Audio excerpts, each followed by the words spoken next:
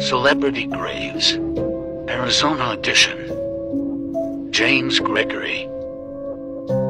Sedona Community Cemetery, Sedona, Arizona.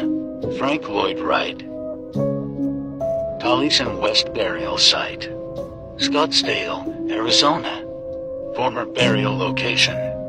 Was removed and cremated. Ted Williams.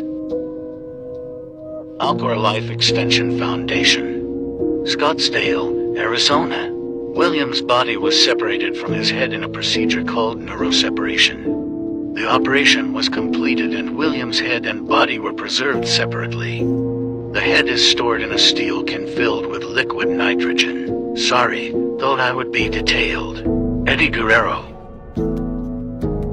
Green Acres Cemetery, Scottsdale, Arizona. Waylon Jennings. Mesa Cemetery, Mesa, Arizona.